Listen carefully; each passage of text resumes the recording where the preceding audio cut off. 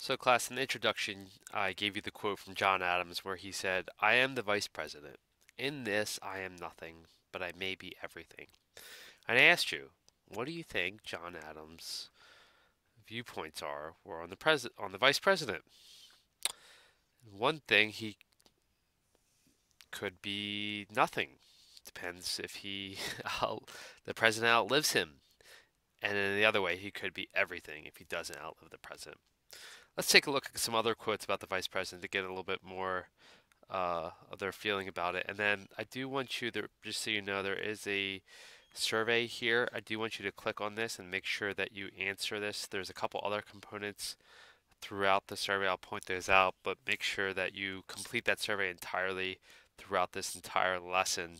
There's numerous checks in there, and I just I do want you to fill it out as you move along, and you'll have to submit it today. A couple other, so let's go back to our things. What do vice presidents think about the vice presidential position itself?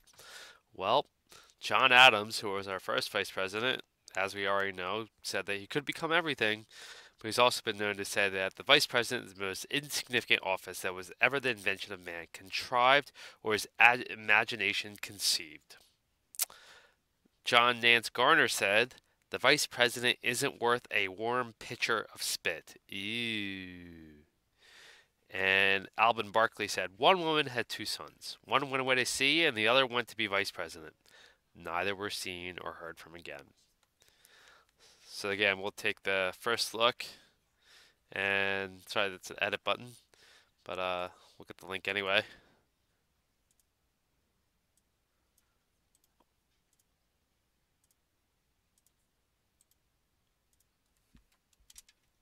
and make sure you fill this out.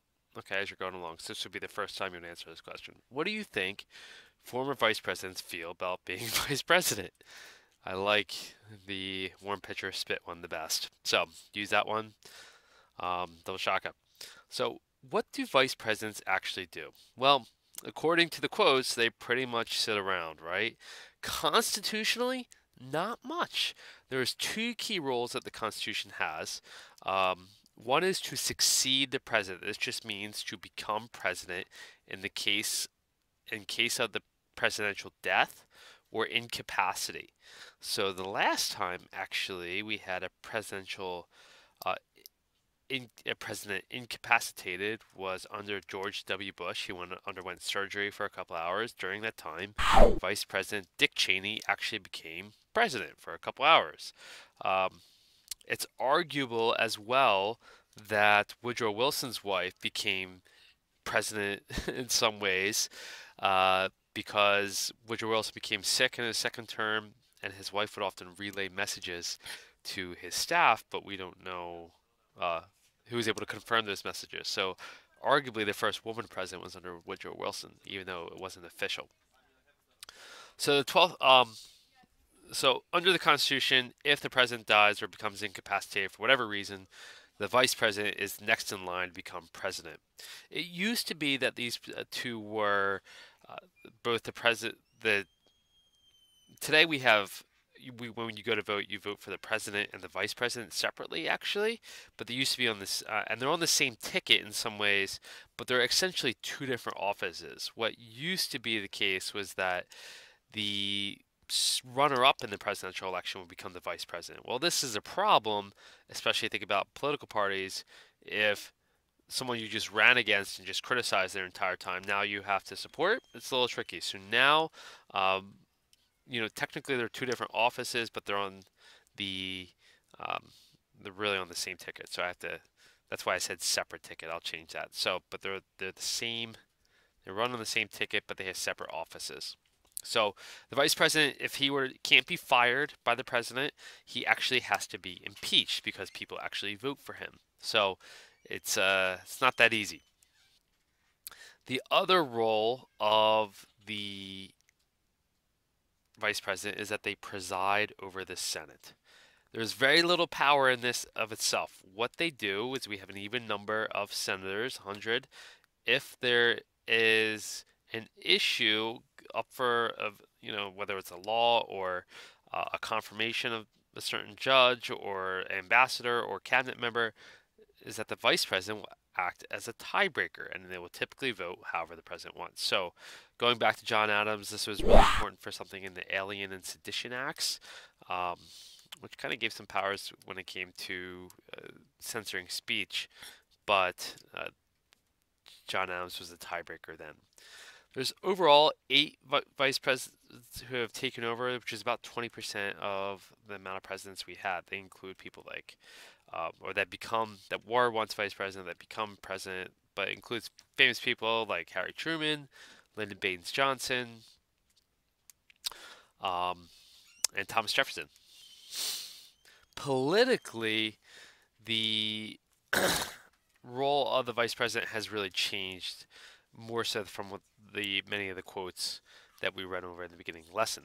The vice president today is now a top advisor of the president and can bring a wealth of experience or even serve as a diplomat to other countries. So, uh, at the recording time, it, Mike Pence is the current vice president, and because Donald Trump, in many ways, didn't have much experience in Washington and how government worked, Mike Pence can help supplement how uh, that works since he served as a representative and the governor of Indiana kind of show uh, how that can work legally in some ways. So he serves as an advisor in that component.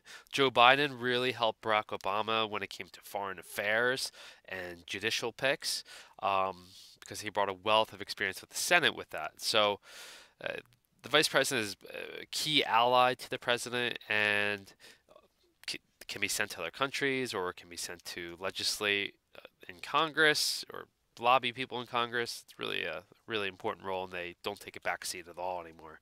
They're often a springboard to the pre- the White House itself, and it's not uncommon for someone to be vice president and then run for president. It's happened uh, quite a bit in our history. Politically, in elections, they also can.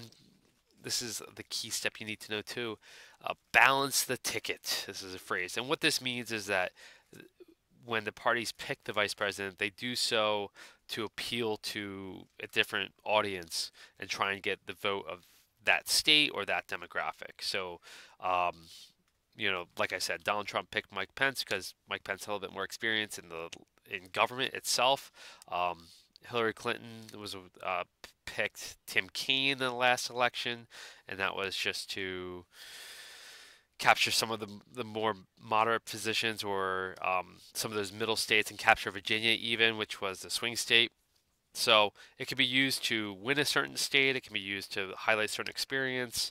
Um, Barack Obama obviously did this with Joe Biden, or it could be geographical in nature and trying to get after a state in the electoral college.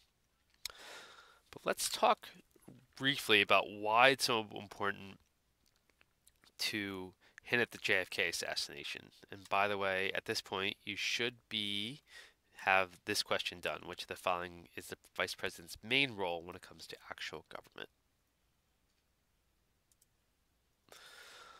So JFK, JFK, uh, John F. Kennedy was the president for about three years, and from 1960 to 1963, and he was the last president where the vice president succeeded them. Just a, a, little bit of background before, and then I want you to watch this video.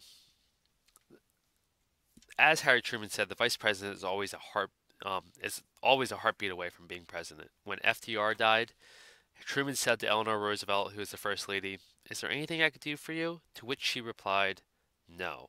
Is there anything we could do for you? You are the man in trouble now."